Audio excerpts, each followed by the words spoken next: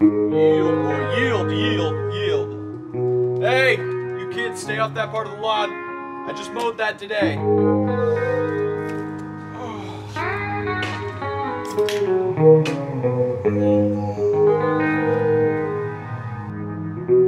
So much hatred.